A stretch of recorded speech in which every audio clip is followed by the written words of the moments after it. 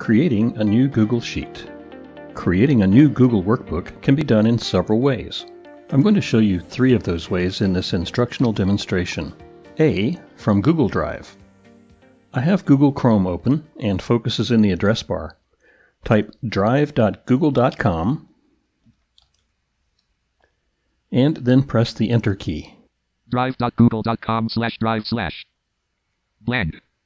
My drive dash Google Drive page Which has six regions, two headings and two links. Table column one, row one, main region, quick access name, grid read only, not selected user at Google Drive folder owned by me last modified by me Oct 11, 2019 M dash row.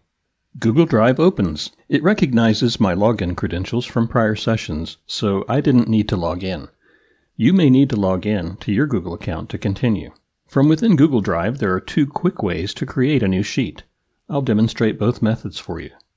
Using the New button in Google Drive. Activate the New button in the upper left part of the screen using the letter C as in Charlie.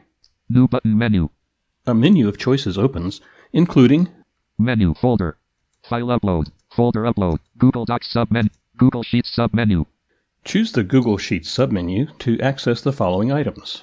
blank spreadsheet, blank spreadsheet, or from a template. from a template, Press Enter on blank spreadsheet. Blank spreadsheet. Use virtual PC cursor off, leaving menus untitled dash Google Chrome. Edit, edit. Grid read only, blank, a one. A new Google Sheet opens. I'll close the current Sheet tab for now by pressing Ctrl F4.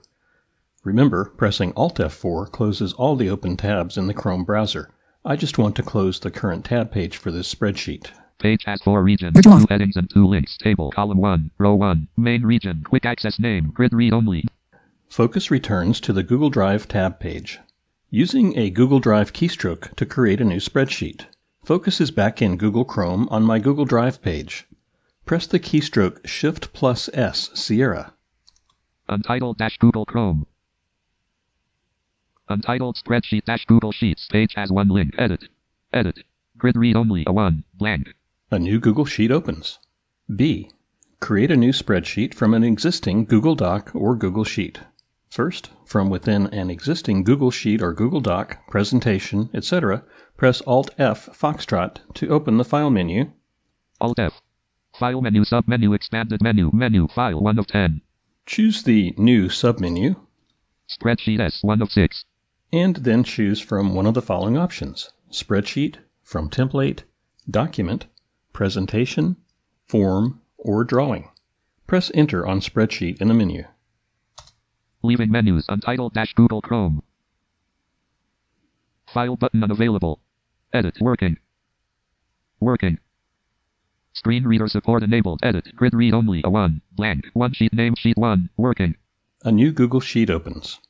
Thanks for joining me in this instructional demo. Freedom Scientific a Vispero brand. If you are interested in other training, please visit us on the web at freedomscientific.com forward slash training and on YouTube on our Freedom Scientific training channel.